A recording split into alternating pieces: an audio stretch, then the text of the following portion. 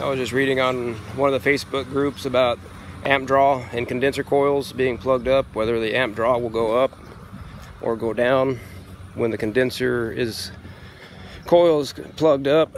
I think it'll go down, but I'm here working on a unit right now and I'm gonna had a high pressure trip and but my condenser coil is clean so I'm gonna check my amp draw on my motor and see if it's in range and then I'm gonna block off part of the condenser coil and see if the amp draw goes down or up.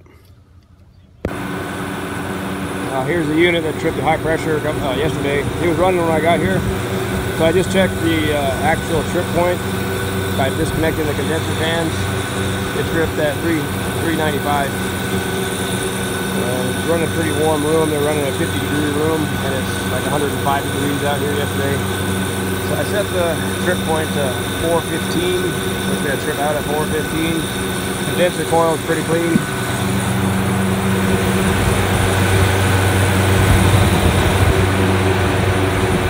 About to check my amp draw on these motors. I believe they're rated at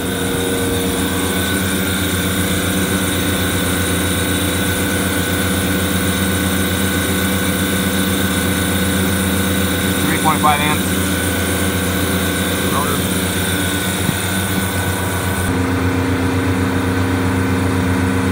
I'm going to try motor number one. I'm showing 3.4, 3.5 with a clean condenser coil. So now I'm going to block off that half of the condenser coil. What is mimicking a dirty condenser coil. See what happens with the amp draw. Alright, I got a bunch of junk underneath this coil now.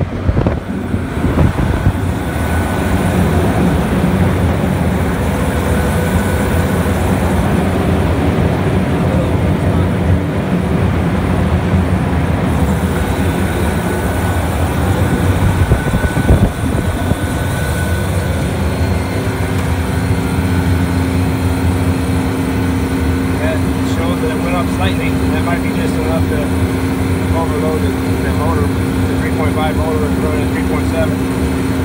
So, according to this little small experiment, I guess I was wrong. Maybe. Tell me what y'all think. Am I doing it wrong?